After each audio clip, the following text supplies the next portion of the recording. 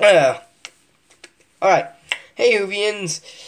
Uh, Doctor Who news. Guys, uh, I got some very interesting news for you fans of Doctor Who.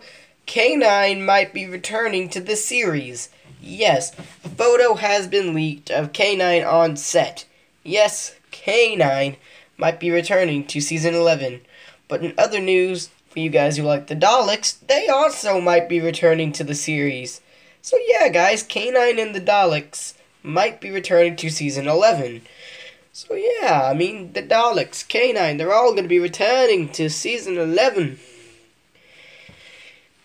And I mean, these two photos have been released, and you know, guys, and I, like I said, my last Doctor news, uh, BBC has been telling everybody to take down the filming photos, but these two photos have been revealed of K9 and the Daleks.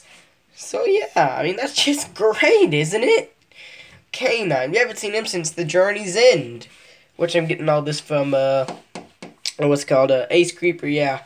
So yeah, guys, I mean, we have ourselves a brand new photo of K9 and the Daleks who might be returning to season 11. So yeah, guys, thank you for watching this video. Remember to like, comment, subscribe, and turn on the bell notifications down below.